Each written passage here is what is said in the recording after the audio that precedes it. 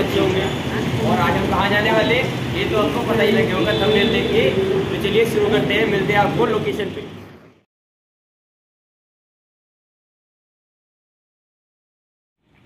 हाँ तो जैसा कि आप लोग देख रहे होंगे, मैं आ चुका हूँ दिल्ली के भूल भुलैया में और मेरे पीछे दिल्ली का भूल भुलैया। चलिए आपको मैं अंदर से दिखा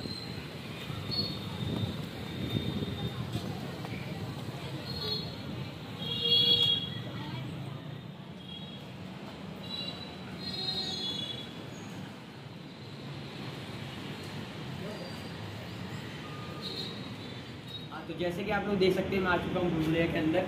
ये है भूल भुलैया और यहाँ से बहुत ही ज़्यादा करीब है, कुतुब मीनार आप देख सकते हैं सामने। मैं आपको दिखाने की कोशिश करता हूँ, शायद आपको नज़र आ रहा हो। बहुत ही ज़्यादा करीब है कुतुब मीनार। कुतुब मीनार से आप यहाँ पर पैदल भी आ सकते हैं और आप चाहे तो पाँच पाँच दस दस रुपये में यहाँ पर टेंपो करके आ सकते हैं। और मैं आ चुका हूँ अंदर। अब मैं आपको अंदर का पूरा नज़ारा दिखाऊँगा आ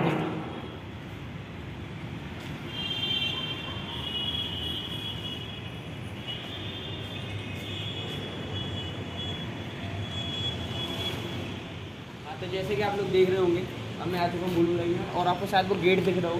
वो गेट वो पहले ऊपर जाने की नहीं हुआ करता था, यहाँ से लोग पहले ऊपर जाया करते थे, लेकिन अब वो बंद है। पहले यहाँ पर आते थे कपल और ऊपर जाकर अपने मौज मस्ती करते थे, लेकिन अब वो नहीं खुला हुआ है, केवल बंद है वो। लेकिन और मैं आपको बताना चाहता हूँ, इसको भूल भुलैया इसलिए कहा जाता है क्योंकि यहाँ पर एक कहानी हुआ करती थी। पहले एक बारात यहाँ पर आई थी, वो पूरी की पूरी बारात जो थी, वो इसके अंदर गायब हो गई थी। पहले एक बंदा बारात का गया, उसके पीछे पूरी बारात उसको ढूँढने के लिए गई और उसमें से कोई भी वापस नहीं आया था। इसीलिए इसको भूल भुलैया कहा जाता है। और मैं आपको दिखाना चाहता हूँ, इसके अंदर एक मज़ार भी है। आइए मेरे पीछे मैं आपको दिखाता हूँ, इसके अंदर एक मज़ार है। और वो मज़ार जो है, वो जो जगह है, जो मज़ार है, वो आदम खान की है। आइए मैं आपको जैसे कि आप लोग देख रहे होंगे, ये है आदम खान का मकबरा। ये आदम खान का मकबरा है। ये ये बिल्कुल बीच में बनाया गया, आप चारों तरफ़ देख सकते हैं। इसके जो है आठ गेट हैं, इसके टोटल गेट आठ हैं। और बीच में ही एक मकबरा बनाया गया है। और ये मकबरा कोई रियल नहीं है, ये एक आर्टिफिशियल मकबरा है। जो रियल मकबरा है, वो इसके नीचे ये आर्टिफिशियल मकबरा है।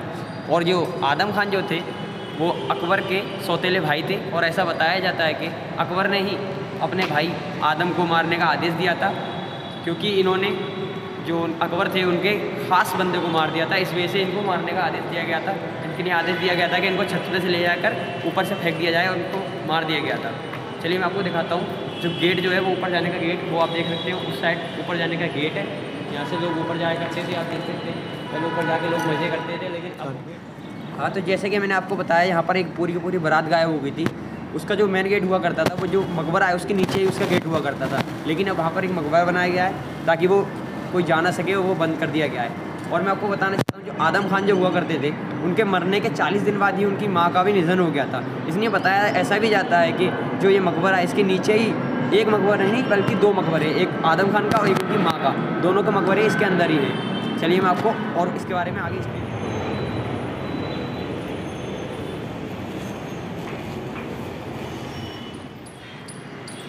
ऐसा बताया जाता है कि 1830 में यहाँ पर एक अंग्रेज़ आया था जिसका नाम था ब्लैक, और उस अंग्रेज़ जो था ब्लैक, उसने इसको ना अपने रहने के लिए घर बना दिया था। इसीलिए जो मकबरा है उस मकबरे को पूरा हटा दिया था।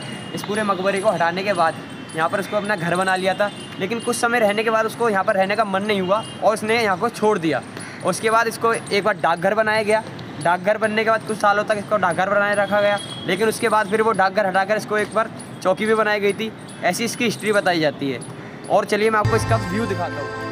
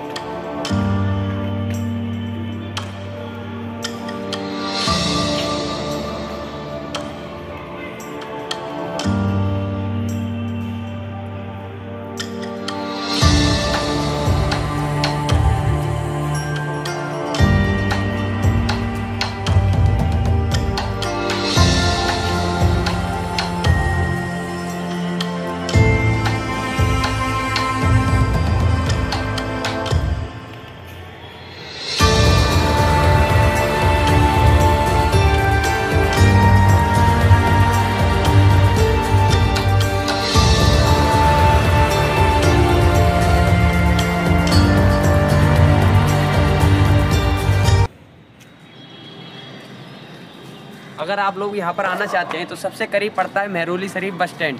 मेहरोली शरीफ बस स्टैंड जो है कि वो इसके सामने ही है उसके ठीक सामने ही भूल भुलैया है। ये भूल भुलैया उसके ठीक सामने ही है। और मैं आपको बताना चाहता हूँ इसके तीनों तरफ़ तो जंगल ही जंगल है। केवल एक साइड ही खुली हुई सारी तरफ़ आप देख सकते हैं जंगली ही जंगल है। यहाँ पर बंदर भी बहुत रहते हैं इसलिए मैं आपको बताना चाहता हूँ बंदरों से बहुत सावधान रहे वरना आपका फ़ोन चश्मा ऐसी चीज़ें छीन कर लेके जा सकते हैं। और मैं आपको बताना चाहता हूँ यहाँ पे क्योंकि ये फ्री है इसकी कोई टिकट नहीं है इस वजह से यहाँ पे आप गंदगी देख सकते दो तीन चीज़ें बहुत ज़्यादा पास है एक महरूली शरीफ दरगाह है वो भी इसके बहुत पास है और आप देख सकते हैं उस साइड कुतुब मीनार दिख रही होगी आपको। वो कुतुब मीनार इससे बहुत आप यहाँ से आसानी से जा सकते हैं। तो ये एक बहुत फ़ेमस जगह है यहाँ पर आप आ सकते हैं और आकर अपने इन्जॉय कर सकते हैं। अगर आप कपल हैं तो भी आप यहाँ पर आ सकते हैं और अपने परिवार के साथ भी यहाँ पर आ सकते हैं।